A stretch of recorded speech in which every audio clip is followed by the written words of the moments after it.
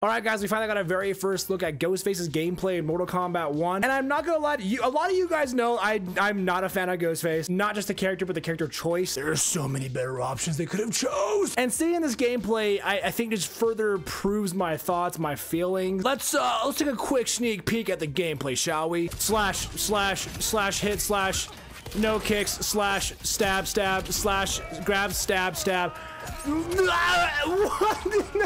I mean, obviously he's a slasher. I get it. That's this is the gameplay you Ghostface stands are just so excited about. Really, this is this is the best, most hype gameplay we could ever have gotten from Mortal Kombat. What? Re really, really? I just don't see it, man. I mean, it, it is hype. It's cool that we're getting a new character. Yeah, that is cool. Yes, but this, the just this, this, this, oh, this is just Smoke 2.0. At least Smoke has some like kicks and stuff. Like after watching this dozens of times, all I'm seeing is is what feels like the same move. I feel like the person playing this character is just pressing one button just over and over again. I think square, triangles, oh, down back triangle, square, triangle, triangle, triangle, down back triangle. Like that's, I feel like that's all we're doing. I'm here today to ask you genuinely, this is the gameplay you were pumped for? Like I get it, there's some funny things about this combo that they show off, like how he calls in a second ghost face. That is funny. I, I calls him in, haha.